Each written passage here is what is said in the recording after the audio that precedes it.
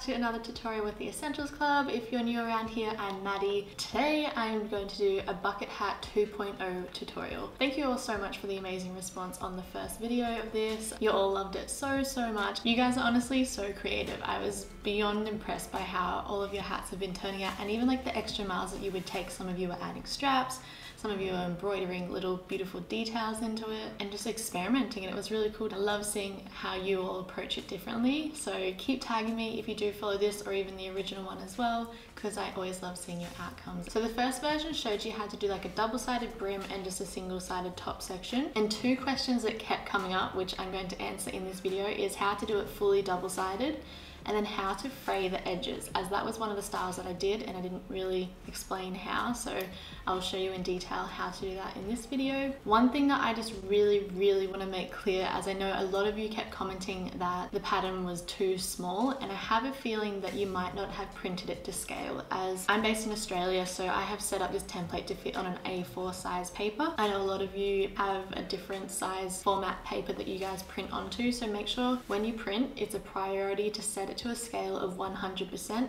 and that will make sure that the measurements print out properly. Uh, I've also put a little scale on the pattern to make sure that when it does print out that you can measure it and double check that it is to scale. Initially I went forward with this just having it as a one size fits all but obviously we all have different size heads so I have since then created a section on the pattern where you can add or take more, say if you want to change the sizing of it. I'll put the measurement of my head below and I just use the regular fit. I have made one of these hats for a friend who has a larger head and I just added on that extra section which you'll see. There'll also be a link in the description for you to download this pattern. There is a print friendly version and also a version with measurements in case you don't have a printer and you can actually draw it out yourself. As I understand we don't all have access to printers. I have made this pattern free but if you do by any chance appreciate me doing doing this, I have put some donation links on the blog post page, which is where you download this pattern. So feel free to donate there if you appreciate going through this process and me helping you out through it. Rightio, so let's jump into the steps of making your own bucket hat. The essentials that we'll need to get started with this is obviously the pattern. Like I said, it is on my blog. I will put the link in the description, which you can download it from, and you'll just need to print this out and cut it out. These end up printing out half the side because we end up cutting this on the fold, which means these will end up being double the size. So don't get scared if you print these and think that these are way too small. They are, and we're gonna cut them bigger. And then we'll also need some pins this is optional, but you can have some fabric chalk if you want to draw around the pattern first before cutting. Otherwise you can just jump straight into cutting it so you'll need some scissors for that. I've got some regular scissors as well as some pinking shear scissors. The zigzag style cut stops it from fraying so I'm going to do that obviously on the sections where I don't want it to fray and then I'll use my regular scissors where I do want it to fray. You'll need some material. I've honestly made this from so many different things from old bags, just cut-offs from old t-shirts, and you don't really need that much fabric but if you are getting new fabric half a meter is plenty enough as that will allow you enough for the hat and maybe even some little leftover scrunchies and whatnot. I would suggest for these fabrics nothing too flimsy as it is a bucket hat and we want it to kind of have some kind of form so it can sit up. The way that we end up doubling it helps it become thicker and more sturdier. If you're going for the frayed look you'll need something that obviously frays well so something like cotton, linen or denim is a great option. I've even used canvas bags and they fray nicely as well. In my first video, I even used a towel because they come up really cute, especially if you're wearing them to the beach. So that's a great option as well. Pretty much anything that isn't flimsy is perfect. Rightio, so now that we have all the essentials and a nice little overview of what we'll be doing, let's jump into the steps of making your own bucket hat. I'm actually going to have plain material on one side and then the pattern material on the other side so it has a full double effect and it's like a two-in-one which is really fun. I would suggest if you have a nice clean bit of material like this, starting at one side and kind of working your way across so that you don't waste any material. I am extremely lazy and I haven't ironed anything so this is nice and crinkled. It's honestly a miracle that I have put any makeup on and got changed today so please understand that you're probably never going to see me iron anything. But I'm going to cut all of these out with my pinking shears as I don't want any of this stuff to fray. Totally fine if you use normal scissors as well. I'll show you how to make them nice and clean. But I'm going to cut out one circle first as that's nice and easy and then I'll show you how to cut on the fold for the rest of the pieces. If you're worried about this pattern moving while you cut, you can use your pins to pin it onto the fabric and that way it will be nice and secure. Here's my circle all cut out. I'll put that aside for the first one and then it's time to cut these pieces on the fold. So I'm literally going to fold the material just make sure whatever, whatever way you fold it, say if you have the good sides facing up, you just continue to do it with the good sides facing up. And then I just shift around the fabric so that when I lay this section that says on the fold, it is literally on this part where the fold is. And then I move it so that the length of this overhang is kind of the length of this bit of paper so therefore there's less waste and then when that's all pinned in place you just cut through the two layers of material and then when it unfolds it will be a nice long headband piece. I'm going to cut out two of these and then I'll move on to the brim section. So now that I've cut out that first piece, that is the same size as the bit of paper, but then when I unfold it, it's now a larger size. So I'm going to cut out one more and then I'll have two of them. So the brim panels end up being a little bit bigger than the headband section. So I've just shifted that folded material so it now allows for that bigger space. Again, I've laid it so that bit that where it says on the fold sits on the fold pinned it in place and I'm just going to cut around that now and cut out two brim pieces and that means I have everything done in this color then I'm going to repeat the process where I have one circle two headbands and two brims with the other pattern material that will then sit on the other double side. So I'll finish this and then go through the process of doing that and then we'll meet at the point where we start assembling the hat.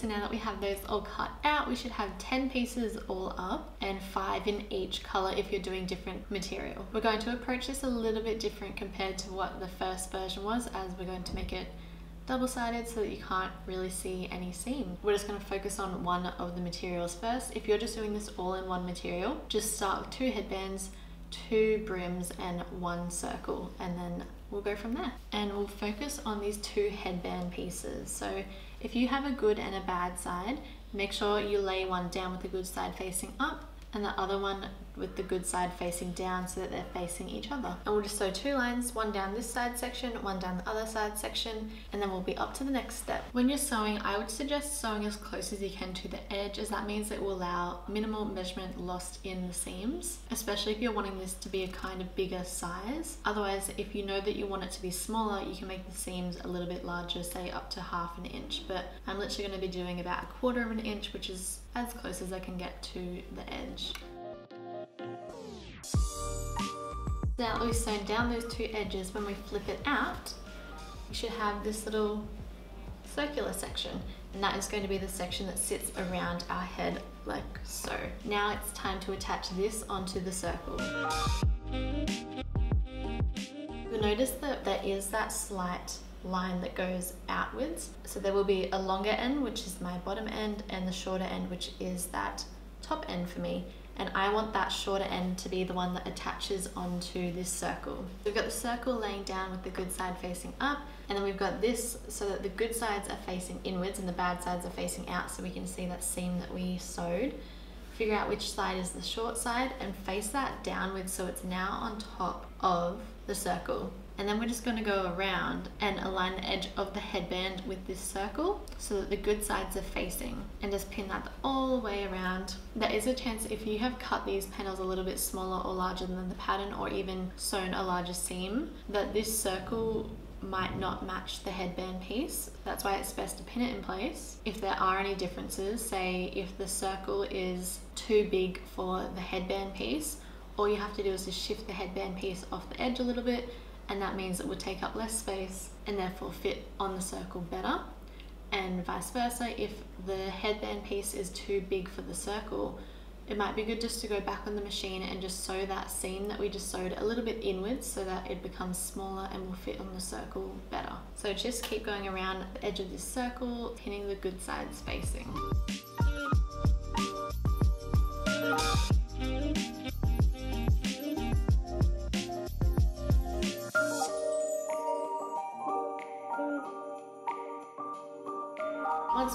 We've it, it should look like this. So that is all the raw edges showing. And then because we've got it pinned, we can do a little test sample of what it will look like when we flip it. And that will have all the good sides showing once it is sewn and we have that all flipped out. Now that's ready to go, we just do one sewing line all the way around that circle and that will attach the headband piece onto the circle.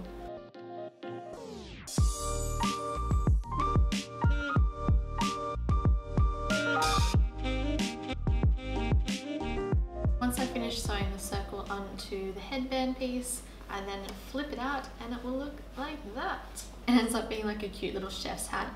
So the next thing we then do is we add brim section. Again, we'll do the same process that we did with the headband is we lay it so one piece is facing good side up, then we place the other one, the good side facing down, and just sew down either of those short edges.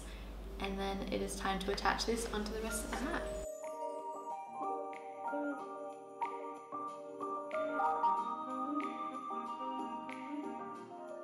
And we end up with that circular section and now it is time to attach it on. So I would get this top section, lay it exactly like that with the good sides all facing out and so that the headband section is kind of standing up like that. And then we will grab our newly created brim piece and leave it so that the seams that we just sewed are facing out and then place it over the top so then the good sides of that top section and the good sides of the brim all facing. And I would suggest aligning those two seams and just start pinning at that raw edge where they both meet until you get all the way around.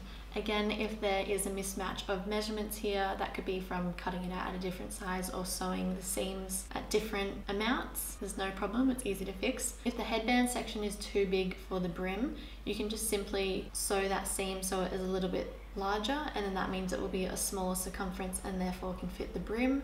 And if the brim is too big for the headband piece, I would suggest then just getting back on the machine and sewing it so that is a bigger seam and that will make it smaller so therefore it can fit onto there. But we'll just essentially pin around there and then when we turn that piece around, obviously once we sew it, it'll end up looking like that. And then just sew one line all the way on that raw edge. Obviously having it single sided like that is nice and flimsy and the whole idea of adding the double side is that we hide all those ugly seams on the inside and it also gives it extra form and sturdiness. We put this one aside and then we do exactly all the same steps with the other material that we have ready to go. You can either go back and watch the steps that I just followed for this or if you feel confident enough, go for it yourself. And then we will meet back here and I will show you how to join it all in one double-sided goodness.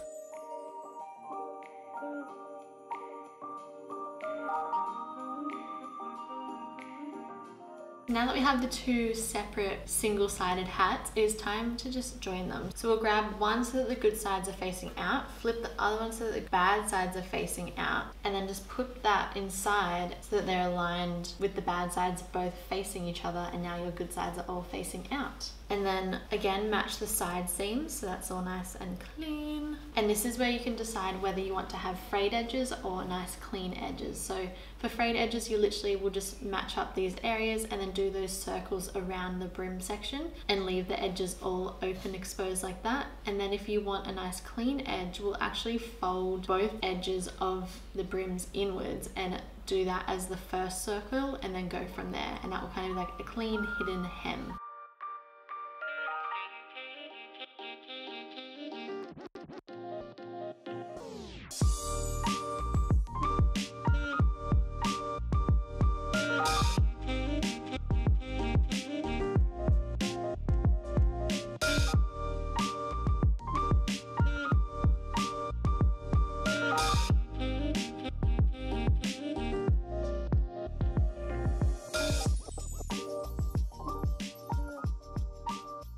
If you followed along, I hope that your hat turned out amazing and I would love to see how it did turn out. So please tag me at the Essentials Club on Instagram or even just send me a DM as I'm always so curious to see how you have approached this tutorial and your little unique touches that you've added. I hope it all made sense and I hope I helped clarify anything that might have been confusing in the previous tutorial. There's so many ways that you can alter this to make it suit your style. I hope you have a beautiful day wherever you are and I will see you in the upcoming tutorials.